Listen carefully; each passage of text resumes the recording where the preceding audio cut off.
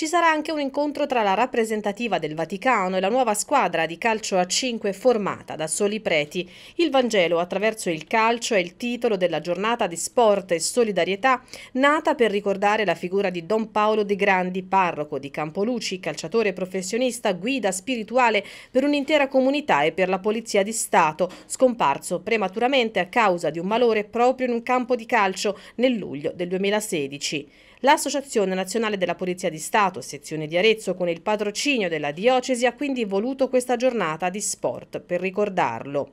La struttura sportiva dell'Olmoponte ospiterà le partite di calcio a 5. Ad affrontarsi saranno la Selecao Sacerdoti di Calcio, Clericus Arrezium, la Gendarmeria del Vaticano, Amici di Don Paolo, la Polizia di Stato e il calcio Champagne Arezzo.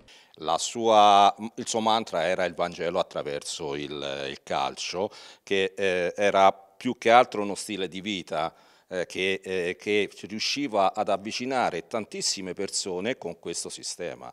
Eh, abbiamo visto a Campoluci dove lui era parroco, ha creato tante strutture per lo sport, è stato oh, sempre presente eh, anche nel, nell'aretino, nel, nel calcio a, maggior ragione poi eh, ha creato insieme ad altre persone eh, in, eh, credo in Palestina, se non ricordo male, eh, un campo da calcio per i bambini palestinesi. Eh, abbiamo di nuovo invitato i ragazzi della gendarmeria e, e loro hanno accettato con molto con molto piacere anche perché, ripeto, si, si, ricorda un sacerdote calciatore professionista perché questo ragazzo giocava nel Verona.